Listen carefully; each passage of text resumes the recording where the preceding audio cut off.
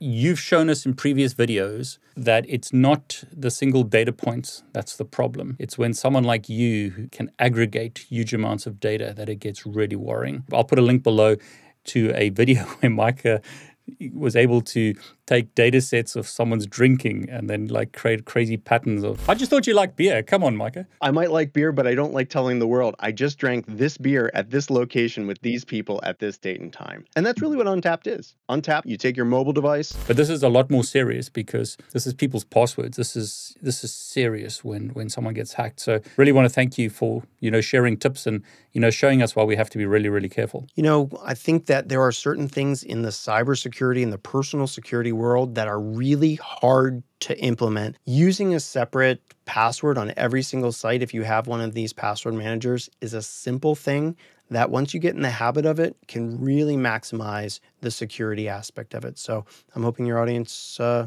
takes that to heart. How many, how many random passwords can you make and remember? And that's why someone uses a crazy like password and uses it over and over again. It's not easy to have a hundred different unique passwords. David, I used to do uh, cybersecurity work, and one of the things that I did for one company was every 90 days, because their password changing policy was every 90 days, their employees had to change their passwords. Yeah. And so every 90 days, I got a dump of all of their internal passwords.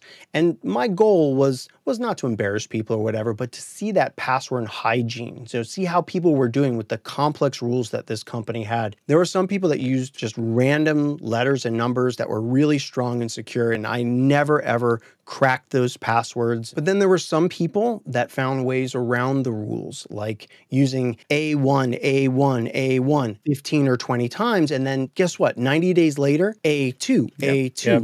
A2. And there were other things. People would start out with roots like this password is for fall. Well, guess what happened when it turned yep. into winter? You know, it was really predictable. Um, so you're absolutely right. We use these strategies, whether they're mnemonic, uh, my kids are, you know, this person, this person, this person, and then next month you shift them around or something. We use mnemonics and we use those things that we can remember to help us, but the reality is we shouldn't be doing any of that. We should be relying on these password managers if we trust them. Yeah, exactly. I mean, LastPass has just had a breach recently. Yeah, it was a breach of their development environment. And yeah. according to LastPass, they, you know, the the key material, the the safe material, none of it was accessed. But it can be scary, and that's why I used to use KeePass XC, which put a file on my system that somebody would have to compromise my system to get access to my vault. Depending on your personal risk tolerance, you can go ahead and and do what you want, but use something. Don't come up with you know, Mike is my favorite purple shirted person. Although that's a secure password,